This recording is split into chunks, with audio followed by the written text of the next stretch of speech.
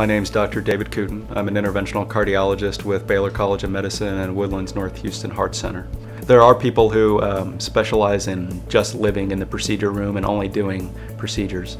Um, the majority of interventional cardiologists are general cardiologists first. Uh, we read echoes, read, read nuclear stress tests.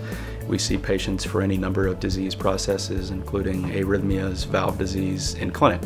In fact, it's probably only about um, 5 to 10% of my patients who um, have, quote, plumbing issues and, and need angiograms and ultimately uh, would be candidates for angioplasty. Some of the non-invasive testing that we perform here include echocardiograms, carotid ultrasounds, peripheral arterial and venous ultrasounds uh, to identify blockage in the arteries or insufficiency in the veins. We also do cardiac monitoring to see if patients are having arrhythmias uh, that could be associated with symptoms. So I think uh, it's important for patients to know that here at uh, St. Luke's in the Woodlands, um, our capacity is uh, quite high. We do open heart surgery, we do complex angioplasty, we do endovascular stents for complex uh, abdominal aortic aneurysms, and um, work on patients uh, with critical limb ischemia trying to salvage legs every day as well.